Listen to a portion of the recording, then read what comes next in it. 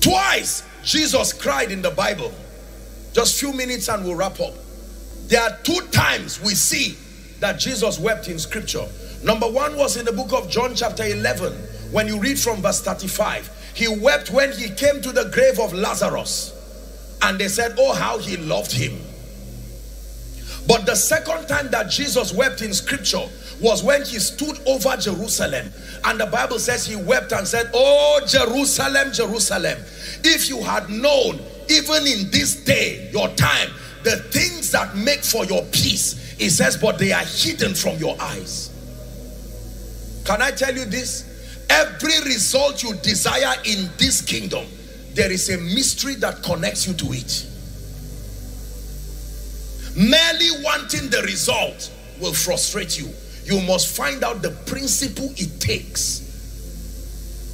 Apostle, I want to be great. I came from a family where no one has risen. You are not the first. Ask Abraham. Abraham came from a family of idol worshippers or of the Chaldeans. But God called him.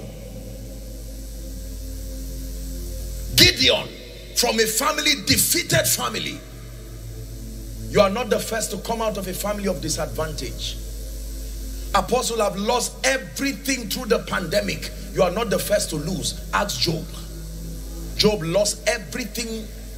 But the Bible tells us again in chapter 42 from verse 10 to 12 that God restored the fortunes of Job. Let me prophesy over someone here. Everything that has left you that should not leave you in this conference by the power that raised Christ from the dead, we call it back to your destiny. We call it back to your destiny. Please sit down. Can I tell you this? When you see a father in the Lord stand like this and declare over your life that in the name of Jesus it is well with you and it looks casual and doors open, he's not just speaking. There is a principle that supports what he's saying. For instance, where the word of a king is, there is if you are not a king and you speak, there will not be power. The, before you speak, verify whether you know the revelation. The Bible says in Revelation chapter 5 and verse 10 that he has made us a kingdom of kings and priests unto our God and we shall reign on earth. Can I challenge you therefore? Utilize the moment of this conference. Don't just sit down and listen to speaker after speaker alone and close your book and go back.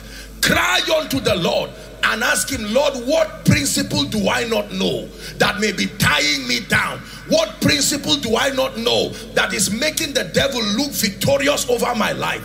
Your assignment in this conference is to be like a spiritual archaeologist searching for the missing link to the next level of your life.